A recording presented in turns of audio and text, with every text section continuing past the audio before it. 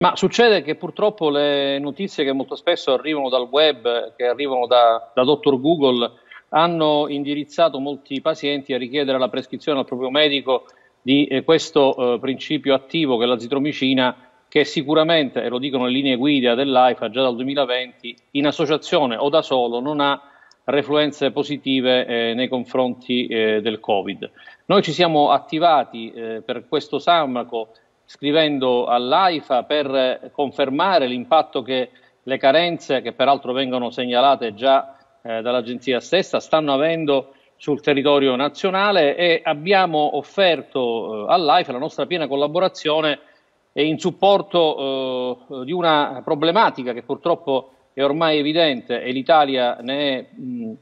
purtroppo detentrice di un triste primato, quello dell'antibiotico resistenza, per la quale occorre sicuramente un'azione sinergica per orientare il cittadino ad un uso più proprio eh, dell'antibiotico. Ecco Anche, segretario, per chi non lo eh, sapesse, perché... l'antibiotico resistenza è legata al fatto che probabilmente nel corso degli ultimi anni eh, abbiamo preso troppi antibiotici e di conseguenza poi il nostro fisico si è abituato e dunque l'antibiotico non ha più quell'effetto che dovrebbe eh, avere. Ma alla fine questa azitromicina eh, effettivamente ha anche oltre al di, eh, scusa, mi scusi, oltre alla medicinale della Pfizer un generico corrispettivo, cioè sostanzialmente non si trova nulla eh, di, di, di, di, questa, di questa richiesta che continua ad arrivare? Allora, ehm, pian piano la situazione sembrerebbe normalizzarsi, nel senso che sia il brand dell'azienda alla quale lei fa riferimento, che i brand di altre aziende, che eh, i corrispettivi equivalenti, e sono tanti sul mercato eh, della distribuzione farmaceutica, pian piano cominciano ad arrivare. Dalle notizie che abbiamo appreso la situazione potrebbe normalizzarsi nel giro di qualche, di qualche giorno. Purtroppo devo segnalare che non è solo un problema quello della indisponibilità o delle carenze eh, relativo alla zitromicina, ma eh, un problema che riguarda anche altre molecole come l'amoxicillina in, in associazione con l'acido camulanico, l'acido salicilico in alcune forme, l'alfuzosina, il cefcloro, farmaci che sono assolutamente indispensabili come lo, la zitromicina lo è nella cura eh, delle patologie relative alle eh, patologie delle prime eh, vie respiratorie e, e, delle patologie polmonari in genere sono indispensabili per la cura di altre patologie. Quindi